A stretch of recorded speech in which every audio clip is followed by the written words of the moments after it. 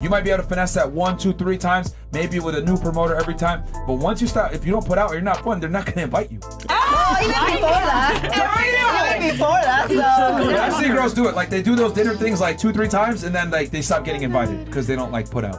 Yeah. So That's true. yeah. Anyway. No, I've had guy friends for years that I'm still friends with, but They want to fuck. bitch. They want to fuck. yeah, but they They're not your friends, man. Come on.